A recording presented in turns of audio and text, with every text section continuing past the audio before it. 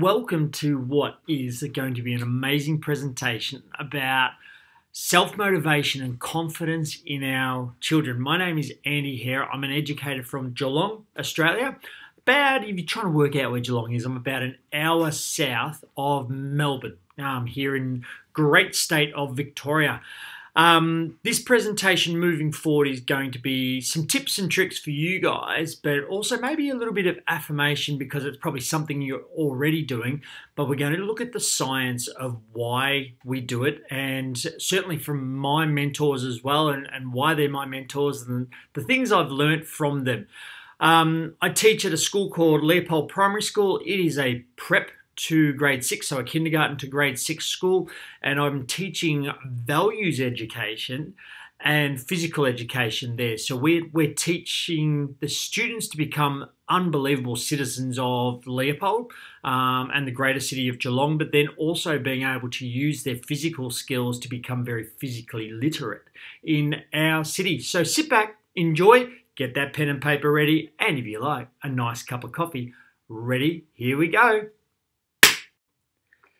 So, a big thank you to Human Kinetics for inviting me to become a part of this virtual health and PE conference for 2021. We are living in a virtual world right now, and to have the opportunity to advocate for physical education and health is so rich and so important for us to still deliver the why we do what we do um, in our little settings. So then you, as the delegate to this conference can do what you love to do as well and take a few little tricks along the way. I know that uh, Human Kinetics, I've been a big fan of um, of their resources for so many years. Um, you know, this, I'm into my 26th year of teaching now, and I think that you know that name has resonated with me for well and truly two decades.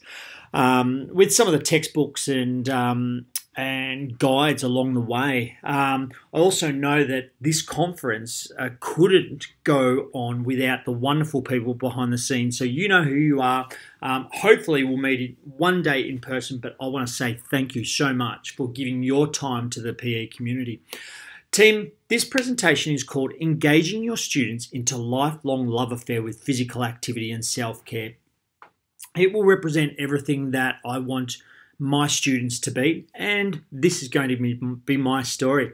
First and foremost, I come from a, a land and a country called Wathaurong. So here um, in my area, we we pay our respects to the traditional owners. So this is a little passage that uh, precedes any presentation that I do. Um, I acknowledge the tradition. Sorry, I'm going to start that one again. Um, I acknowledge the traditional owners of the land and respectfully pay my respect to the elders past and present and emerging.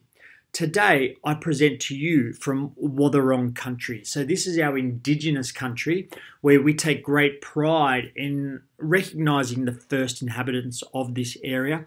Um, and certainly something that I'm very passionate with about as well in ensuring that my students know the games and the movements of the First Nation people, the Wathaurong um, tribe there in the region of Leopold. We have a big lake um, called Connewarre. Now, Connewarre is an indigenous word for black swan, and the the lake um, is only a kilometre from the school. Um, but it is so significant in the area as well um, of the Wathaurong tribe. Um, so, you know, they are a big part of this story, um, as we are as consumers of physical education and educators and we have to know that we are the custodians of this information currently. We're going to pass this on just like we've received that information from our Wathaurong elders.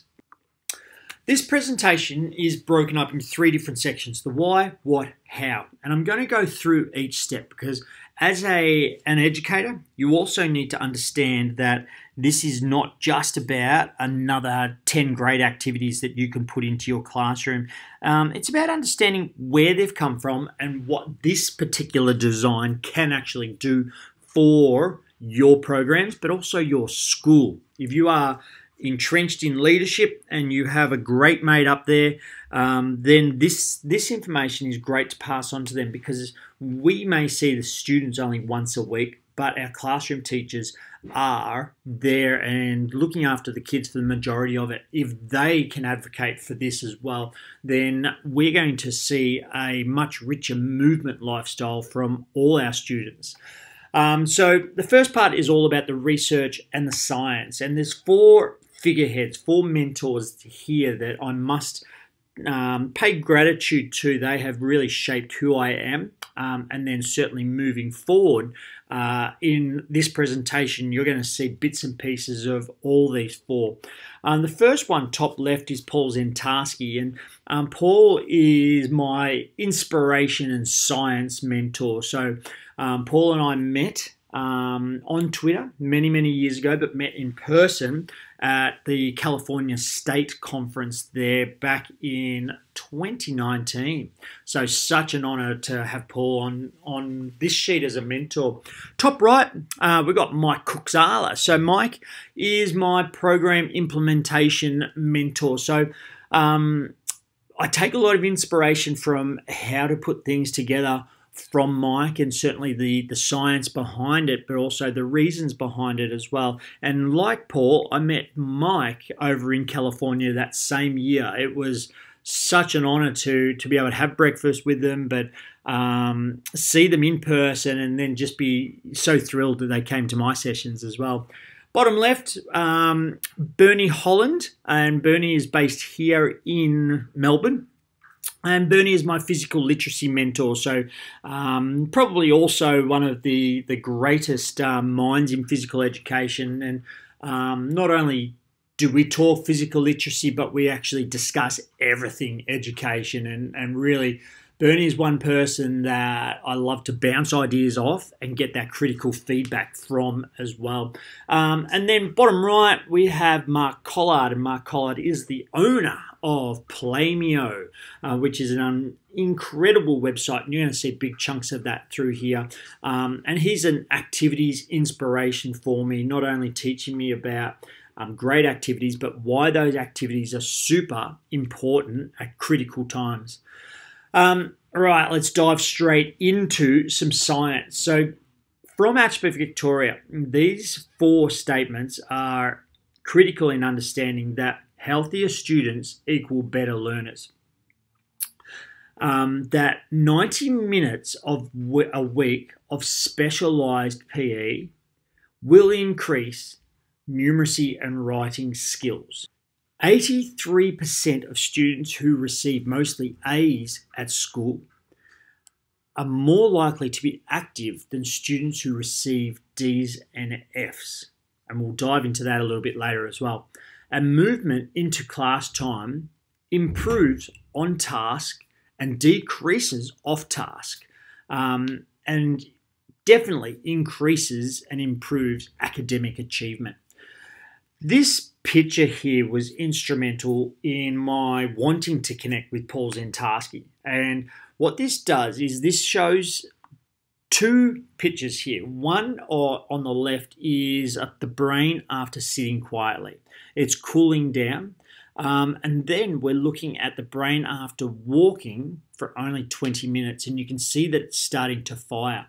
What I took from this one picture is firstly the understanding of how I learn. If I can't understand how I learn, I'm not going to be able to understand how my students learn. Um, and I know in the introduction you probably saw right behind me um, the wall of running numbers. And I, I love to be active, but I love to be active and then be creative straight afterwards. And it's because my brain is at the most active. Um, so I'm trying to replicate that same idea with my students and also that idea of pushing that knowledge forward to the classroom teacher. Everything we do, we have to push forward to the classroom teacher.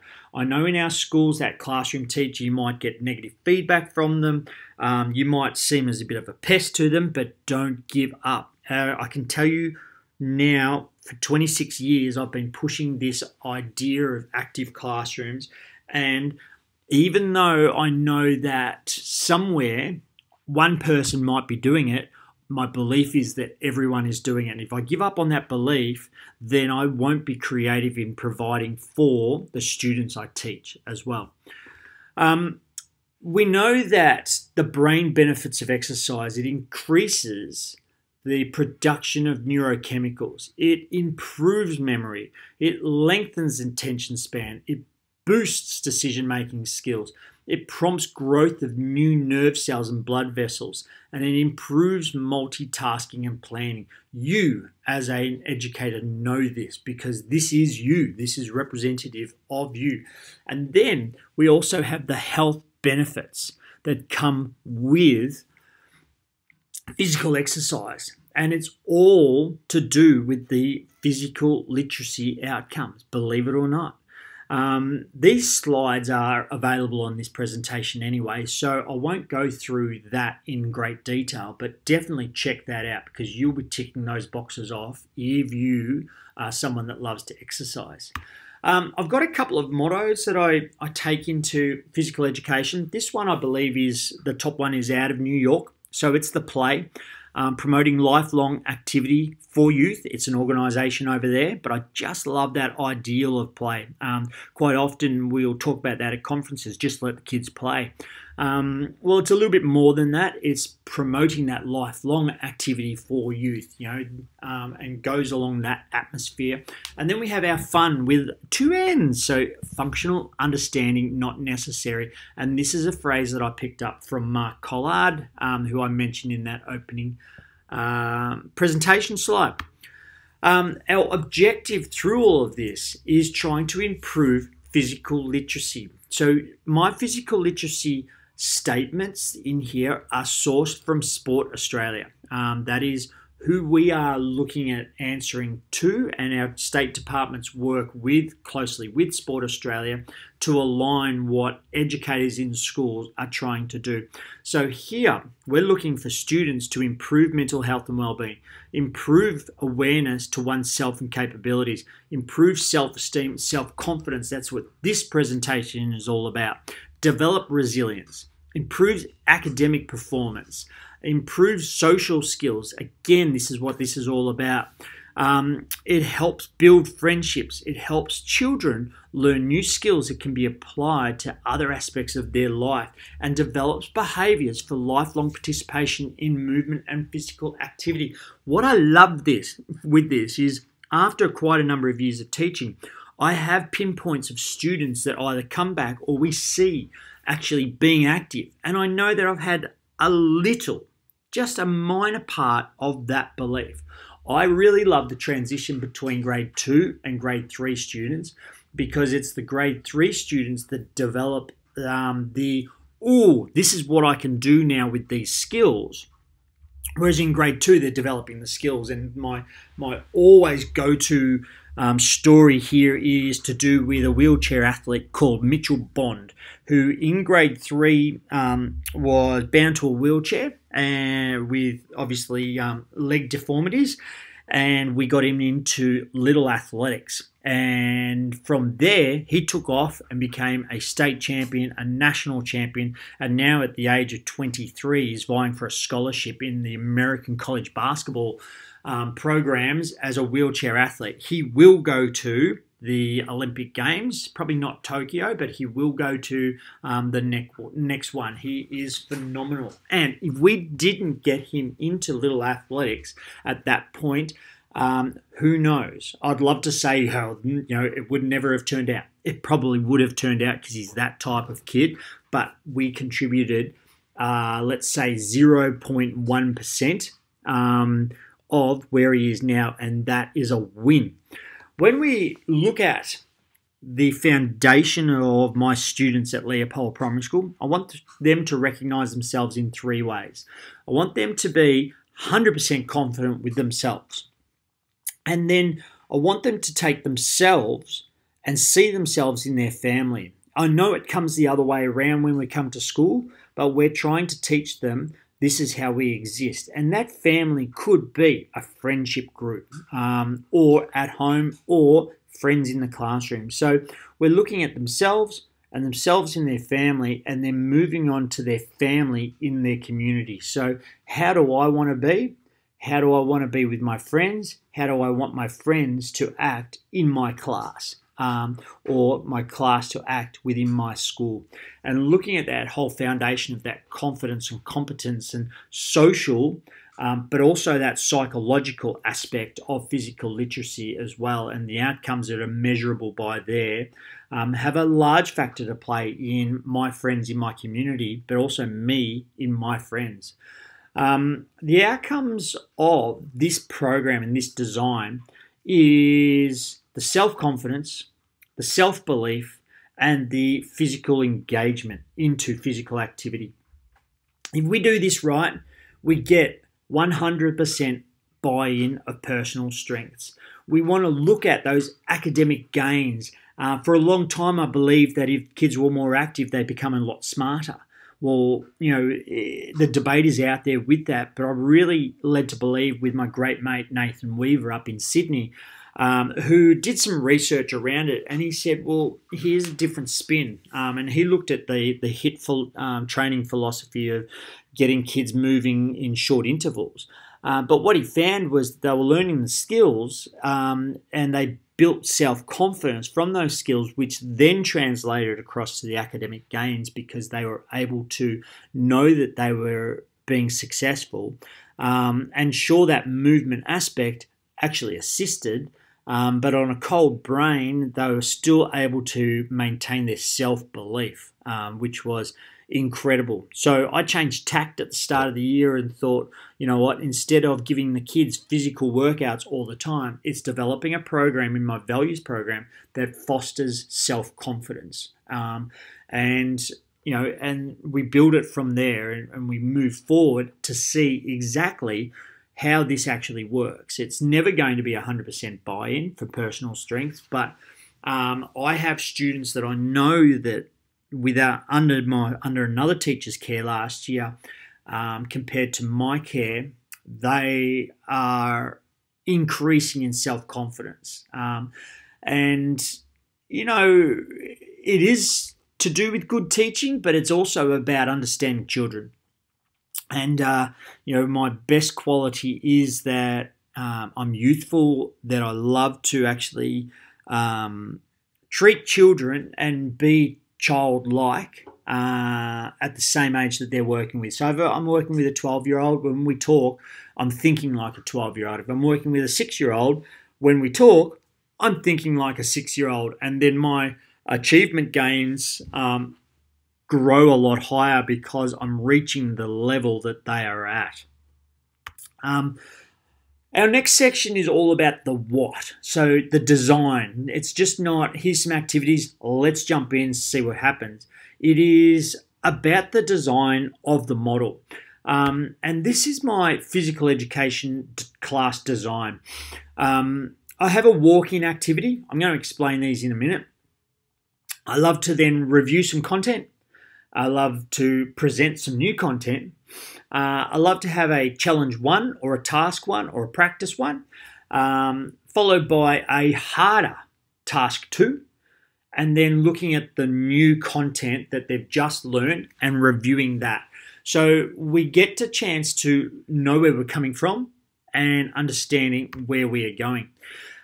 Um, the walking is really important, and this is something that uh, uh, an educator down here called Sean De Morton, um, who now works for Cricket Australia, and Wayne Schultz, um, who did work for Cricket Australia and is now back teaching. And Sean was teaching and is now working for Cricket Australia. And together, we've spent a lot of time talking about walk ins. Um, and the walk-in activity, in my view, is exactly this. Students are presented with a challenge as they walk into the learning space.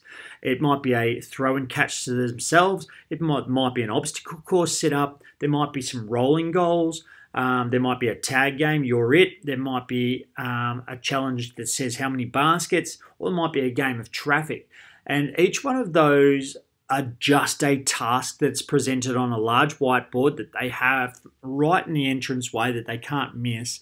Um, and they have to discover what it means. A lot will be hesitant to start because they're unsure of what it means. But their one rule is they're not allowed to ask the teacher. They have to use their eyes and communicate with each other. Um, and this gets the kids moving straight away. So we're going to hit them with content soon, but we are giving um, kids a chance to warm their brains up. And it's a five minute power um, it's a five minute, let's get this going and let's see how hard we can work and get our brains fired up. The music's pumping, um, a little bit, a little bit like Tony Robbins. If Tony Robbins wants a an audience to be pumping and jumping, he's got the music pumping and jumping. If he wants them to calm down, the music will calm down. But we, we want to give the kids this activity so then there's a connection between last week's work and also um, a familiar concept that they already might know that they can become better at. After that five minutes is up, then it's a chance to actually welcome the class um, and they get their first opportunity to sit and be welcomed. Um, here we draw on last week's lesson. Um, personally, I have to mark the roll first hour of the day and last hour of the day, but through that lesson, then that's a requirement by our um, uh, school and department. But then through the lessons of the other classes through my day, I'm actually doing a rolling roll where um, I like to do it while the kids are working or in that walk in because then that gives me a chance to save time um, on the roll. And you know, anytime we can save, we can actually fill it with activity, which is brilliant idea. Um, I'm high fiving myself right now and everyone around me as well, of course. But in this section, section we look at the review. So draw on last week. What actually happened? What did we learn uh, from last week? um, getting the kids to provide examples. So we don't want them to sit and put their hand up. It's like, okay, uh, Patrick, come up front, show us what we did last week. Um, you know, Adara, can you come up the front? Can you help us out? What was your method of solving that last week? Charlotte, can you come up the front show us? So the kids getting multiple exposures there. Um, and then we discuss areas concerns. What what was hard? What did we find um, difficult? And then we celebrate achievements as well. So you know, drawing on the children that may say lack self confidence and then boosting them up through acknowledging that they were seen last week being unbelievable. Um, we don't like to make examples of um, students. In fact, that's a, a, a I would have it as a law uh, for my school, but you know we don't make those examples. Um, quite often students at my school will actually offer that up themselves that oh yeah i was having trouble doing this last week but i might have seen patrick doing it a different way so that helped me. Immediately after the review we go into the present the content. Um, and all these can be done in you know three-way share um, in turn and talks and all of that stuff, and then present back because that gets more kids actively involved, and that goes for the review as well. You know, for instance, like what did we do last week? Turn and talk. You've got 30 seconds. So every single person there is is sharing, um, and it's the same um, in this way. Is that we're presenting that new information to the kids. What we are doing today. Um, what do? Oh, sorry. Why are we doing this? and how we are going to be doing this. So the why, what, how, super, super important in our classes. Um, I don't believe that this needs to be written up. Eh, you know, I look at that and I debate this all the time. Is that how many kids will read the written work around the room? Um, and my colleague and I are big on reminding kids what the why, what, how are vocally. Um, however, we have experimented with the written content a lot, and the kids don't use that as a reference point. So we use it a different way.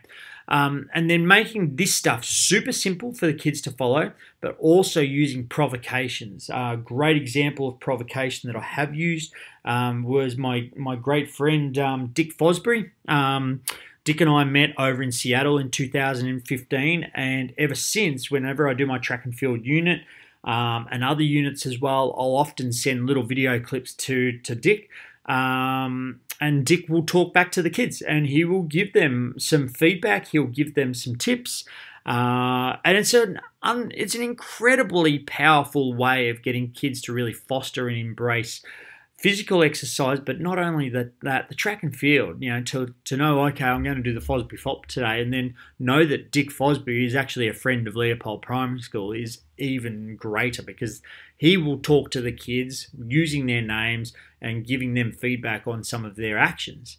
Um, once we've finished this, we get the kids straight into exploring the new content in Task 1. I use the word explore because uh, I love to see what the kids can do. Um, we explicitly break things down when it's required, um, but not always as a whole group. Uh, we love to rove around and just uh, work with students one on one, two on two, uh, three on three at a time rather than be explicit with a group that might have six different levels across there. So the content is needing to be challenging but reachable, hands on, equipment based. The kids love equipment and in small groups. If you're going to put out five balls for 25 kids, you're going to lose control of that class because every kid wants to touch the ball. So put out 30 balls because you know that one ball is going to go missing, two balls are going to go missing. Um, enough balls for every single person if you're doing some ball control stuff. Enough scarves. This week I've been doing some catching and throwing. So having the scarves that are out, um, there are ample um, scarves are out. So, you know, where the challenge comes in, a child might find that they have already beaten the challenge, so they go and get a, maybe a second item, and they're doing them at the same time, two two scarves up, um, two hands to catch.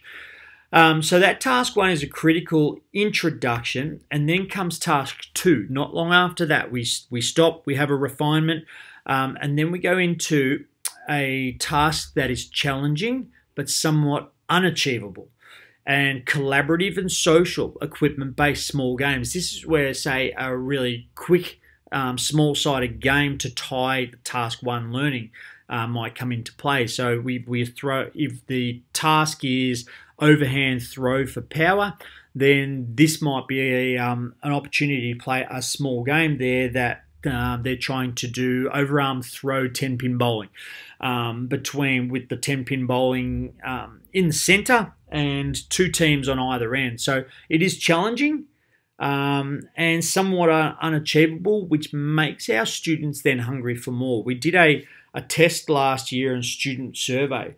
Um, an overwhelming 75 to 80% of students in our school actually wanted the task to be really hard rather than super easy. Then they found that they were being a lot challenged a lot more um, in that regard. And finally, then looking at the review of the new content for um, the end, and and kind of we we look at that review with a rock paper scissors, um, then share. So play rock paper scissors with uh, two students. Whoever wins really doesn't matter because then you've made a pair, um, and then you're sharing one thing that might have worked really well. Um, and then they move on to somebody else. So they might get around 10, 15 different students about what they're presenting to that. And it's just getting the kids to hear someone else's opinion. So on this, they draw on the WWW, what went well, they draw on improvements of each other. Um, we can look at student examples and celebrate achievements. Um, Australians love their sport, and we have a long history of sporting success. But we're at risk of falling behind the world in our health and fitness because we've turned into a nation of watchers. We watch sport, but not enough of us play it. We move and play less, and it's impacting more than just our waistlines. It's impacting our physical literacy. What's physical literacy? It's more than just the physical skills that help us move. It's the knowledge, behaviours, and confidence that motivates us to live active lives. Our level of physical literacy impacts how we think and process information, our attitudes, emotions, and feelings, and how we interact with others when being physically active. So it's more than just exercise? That's right. Physical literacy is about developing our whole self, not just the physical skills like running, jumping, and throwing. Look, most of us know it's important to be active. The real problem is knowing where to start and having the confidence and motivation to maintain an active lifestyle because we know it's good for us. Isn't this message just for lazy people? No, it's for everyone. Increasing your knowledge and physical skills helps you develop the confidence to solve problems and gives you motivation to take action. So, what do we do? Start by thinking about what you can do to improve your physical literacy and that of your kids. Help them develop their movement skills like running, jumping, throwing, and swimming. Let them play and learn every day. Physical literacy leads to better performance in the classroom, greater motivation, and stronger social connections. And it doesn't stop once you finish school.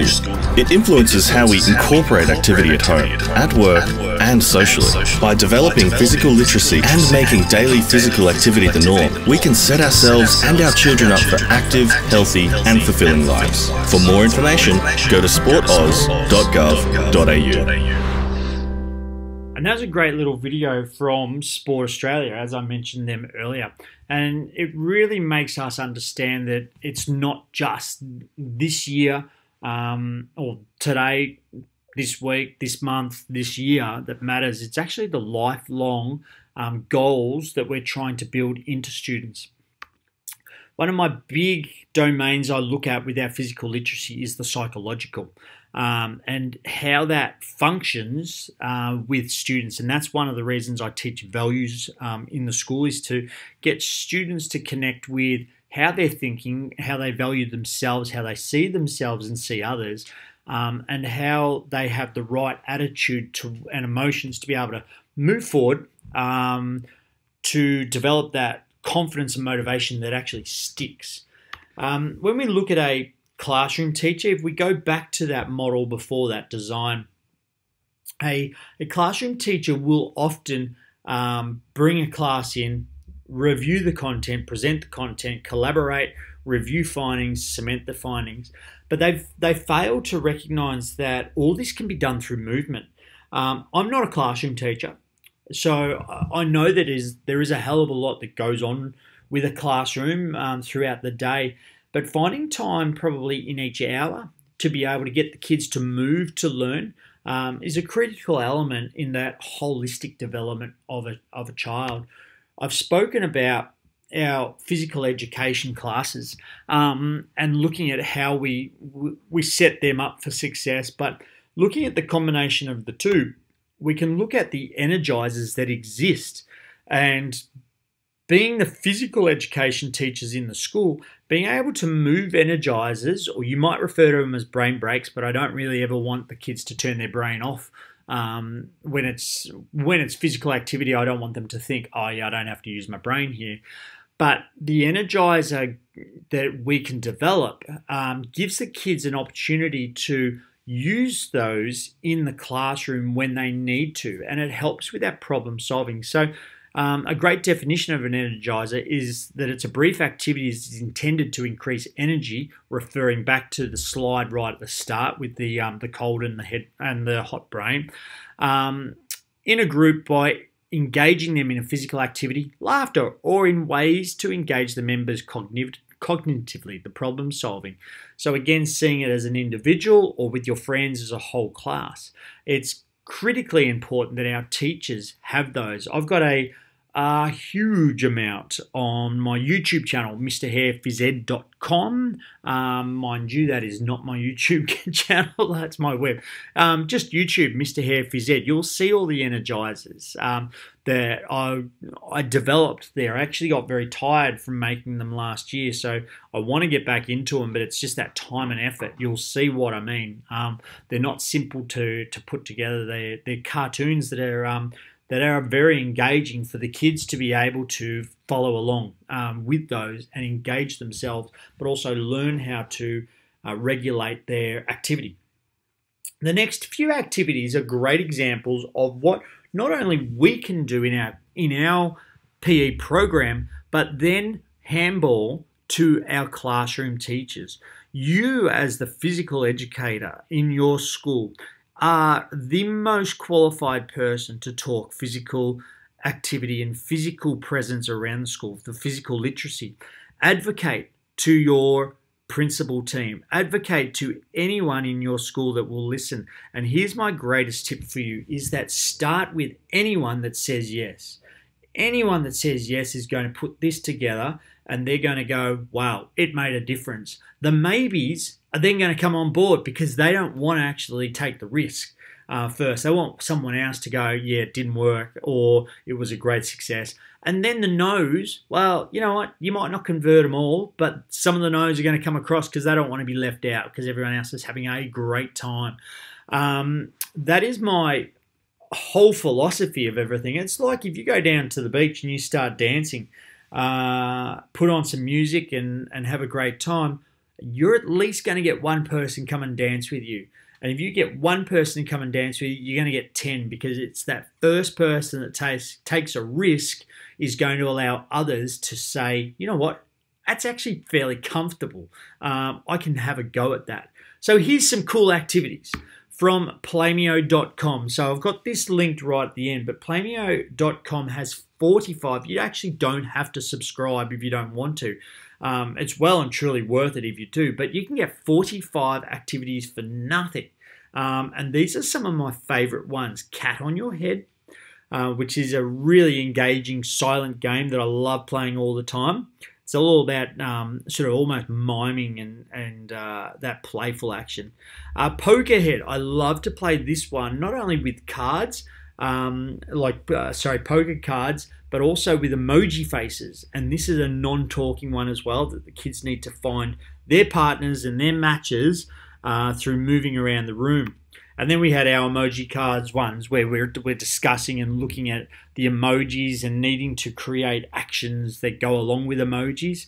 Um, each of these games also have a ton of variations um, that just help you adapt it. We always, in physical education, I talk about level learning, learning level one being the easiest, level five um, being somewhat harder, uh, leaving level 10 getting up there. And the kids always want to know what that next level is. Um, and it never finishes because, you know, sometimes I don't know what that next level is. I, I need to see what the level that there is that exists at the moment before I can give them a new level.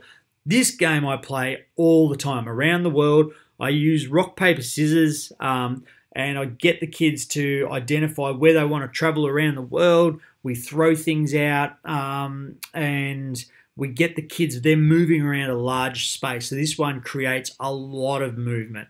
Um, this great one, Super Smile, uh, I call this my contagious one. Probably not the right word at the moment, um, but you know, this is my contagious one because we're trying to get everyone in the room to eventually smile, but no one's allowed to smile to start with. Um, which is a really great game for kids to actually concentrate on not being able to smile. The train station greetings, fantastic game that is again a silent game but a very energetic game. It's the old uh, classic. I, I see someone in a distance that I reckon I know, and I start waving frantically at them um, until they get really close to me, and I realize it's not them. So what what do I actually do? Because they've they're looking straight at me. Um, that's one aspect of of games that re- really can change the landscape of a classroom um, and can allow you to review content, to present content, um, walk-in activities, uh, and the classroom teacher can do the same thing. There is no reason why a classroom teacher can't have a walk-in activity. So simple. Um, and then these ones that I absolutely love, Minute to Win It. The concept of Minute to Win It is quick and fast. It's curriculum connected.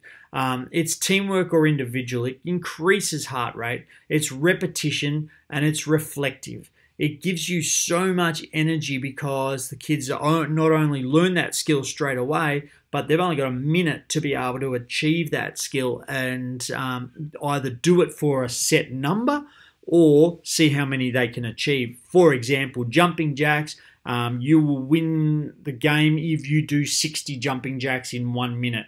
Um, and or or how many jumping jacks can you do in one minute? I never really at the end asked um, the question of who was the best. I just do a show of hands really quickly, like okay, who who jumped one to ten? Yeah, awesome. Who jumped ten to twenty? Whoa, well done. Who jumped uh, twenty to thirty? Yeah, you guys are great. Who jumped more than thirty? Yep. And then one of my best tricks with this is because I know students won't tell me the truth. They always want a big number. I ask them then to start at the number that they got and they have to now in the second one count backwards. So if, if someone was honest and they got nine, they start at nine, eight, seven, six, five, four, three, two, one. Or if you have um, uh, Miss Molly in the back there. Miss Molly is always trying to be the best in the class, which is fantastic because she oozes confidence. And she says she's jumped 72. She's got to start at number 72 and count back. So it gets kids thinking about um, that honesty side of things. Hey, team, there is a bunch, a bunch. These are all hyperlinked. So there is a bunch of activities that you can go to with these web links. Um, I'm not going to open any of them up because all of a sudden we're going to go to a billion web pages, but be sure to download this on the presentation and then go to those activities. They're already set for you. But as a bit of a teaser, I want to show you this.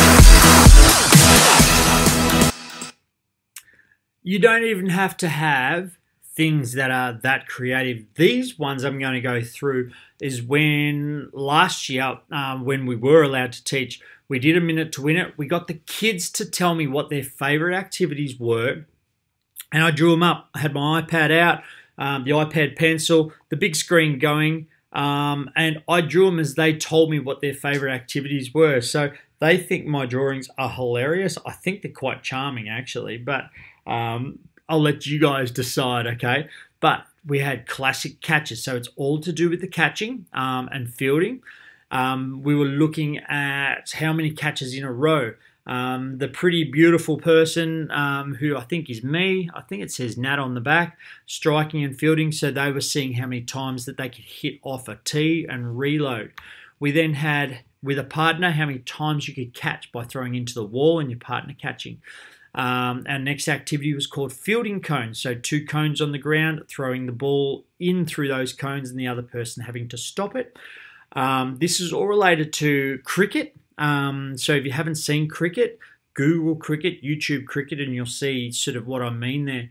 An activity that uh, my friend Wayne Schultz made called Crocodile Creek. So, a little creek in the middle, having to throw that ball um, into the creek, bounce up to your partner. Um, paddle strike, so that's simply throwing your ball, the ball to your partner, they hitting it, and you then catching it back. Um, we had wickets out, so throwing that ball, how many times can you hit the wickets? And then wall bash, so hitting that ball um, into the wall after your partner has thrown that to you. So that gives you a great example of how we can build this energy into a class. And with the music pumping, with the activities that are engaging, with it being fast, dynamic, skill related curriculum content uh, hit right there. I mean, the, the, the GLOs that you can hit uh, through all of those activities, not only through the, the fundamental motor skills side of things, but the social and emotional uh, part of our curriculums as well, is incredible. Um, I did a presentation similar to this in New York about a month ago, and we had um, upwards of 70 GLOs that we were able to match this presentation to, which was incredible. Now, when we think of physical literacy outcome, I want you to think about your school And where else can we get kids moving? Where else can we get kids energized? Where else can we give kids that physical component, that physical literacy that's going to not only build engagement, but that self esteem? And we look at before school. Kids are coming to school. So why not promote National Ride to School Days? Why not promote walking school bus? Why not promote um, a you know a green free day where you know parents are not allowed to ride, um, drive their cars to school? Um, why not promote a traffic free area? You know, block off all the roads with your council and not allow cars to come near the school. So that way people are forced to walk um, and get them moving. Um, at recess time at my school, we have timetabled uh, challenges. So this is my map of my school. I'm so lucky. Um, I've put the graphics over the top because our Google map uh, shows that it's quite dry, but you'll see that the top of the school have an, I have an athletics track and synthetic field. Um, I've got four playgrounds through the school, which is um, unbelievable. I've got a bunch right in the middle there, a bunch of downball courts. Um, I've got a large, uh, beautiful, well maintained football field um, and a big oval. We've got around the school is a running path, but also doubles as a bike path. Um, yes, you ask, children are allowed to ride their bikes during recess and lunchtime at our school. Um, because up in the top right corner there, or sorry, the bottom right corner on this screen is a BMX track. Um, all of this we've fundraised for because we wanted a very active school. We have the three outdoor basketball courts, we've got one indoor basketball court. Um, those outdoor courts also double as tennis courts, um, and so on and so on and so on. So the the children have timetabled times and challenges that go to each of those um, spaces for them to be active. Um, we can then look at, and this was a great idea that uh, um, Bernie Holland, spoke to me about, is uh, lunchtime challenges. So just signs that are randomly up around the school that can change all the time. So we look at how many steps is it from this point to the football goals and back. Um, if you jog for 60 seconds, where do you end up? From this point, walk and talk with a friend jump and touch this sign, squat and touch this sign. And then having clubs. So at our school, we have a bike club, we have a dance club, um, we have a running club. We've then got um, music clubs with uh, drum beats, we've got art clubs, we've got Indonesian clubs, we've got um, computer clubs. We've then got our house leaders who run activities for our junior students as well. So we've got ample ample movement around our school, which builds that social interaction, which builds that psychological confidence that the kids can then bring back into their classrooms. Um, and then looking at after school. So, again, our clubs work um, in some of our after school programs. We've got kids moving back into the community. We've got kids walking home. We've got the active um, ride to school, so ride from home a ride to home. We've got the walking school buses, but then we've also supported with sporting schools from Sport Australia, which provide grants for us to run um, clubs and bring in professionals to cater for after school sport here for our students in Australia. Um, all of these are well and good, but we also need to look at what the outcomes of this presentation is all about. And it is looking directly into one student's eyes, not the school, not a class, not five kids, it's one student. And it's looking at the confidence, competence, motivation, social ability, knowledge of self, and knowledge of content um, for that student to live a physically active and able life beyond our care.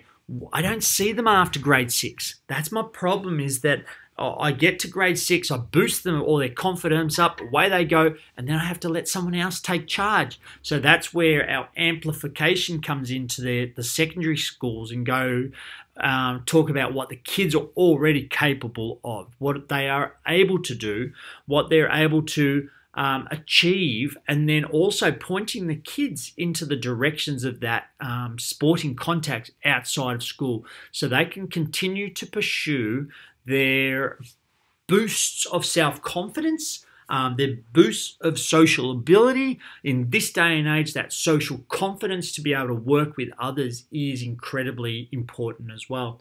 Hey, team, these are the resources that uh, I have you know, got for you. So the main resources there are from playmeo, from Mike Kuczala, from Learning Readiness PE, which is Paul Zientarski, from Sport Australia, which I've spoken about a lot, ACHPER Victoria, which is Bernie Holland, um, and then obviously mine. So mrhairphysed.com um, backslash uh, or forward slash, I think, resources, and you'll find pretty much the last decade worth of work there uh, that I've just put up because I know that if I can help one person, I can help 500 children.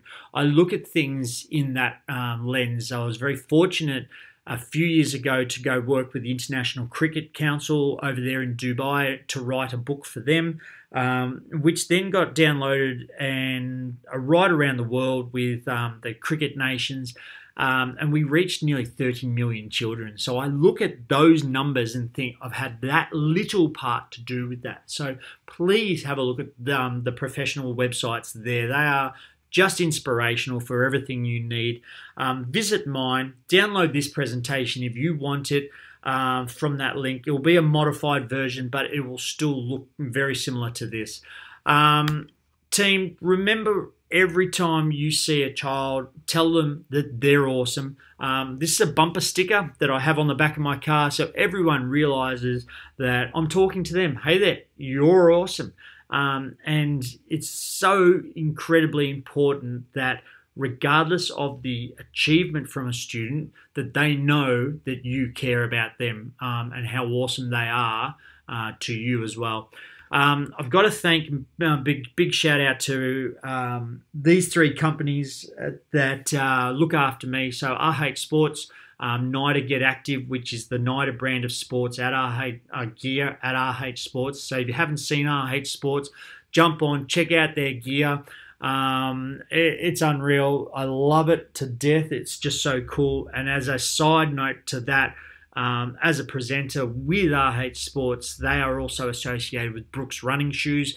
Um, so Brooks Running Shoes also give me all this wonderful gear to be able to teach in, uh, to compete in my Ironmans in, and um, and everything that goes along with that. Uh, it's just super super awesome to be associated with those brands.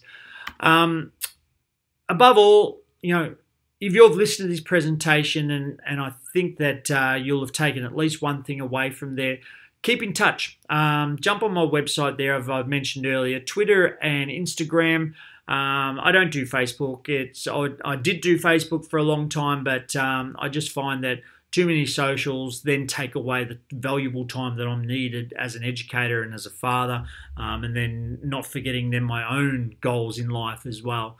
Um, so thank you so much again to Human Kinetics for the wonderful opportunity in presenting uh, this session to you.